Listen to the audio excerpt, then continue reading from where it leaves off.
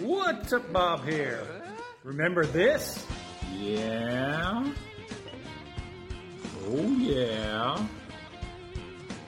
Yeah. Yeah. You bet.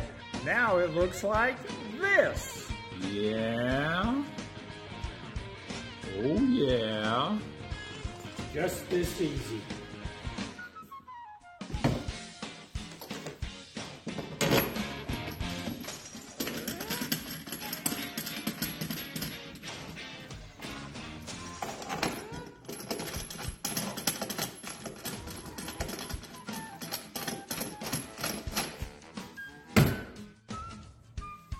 What do you think about that? And as you can see, they're just hand done. No wrenches required. Which is what I like about it, especially.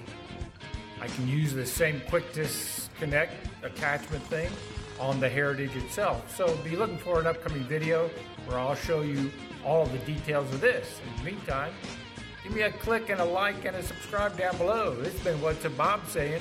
We'll be seeing you.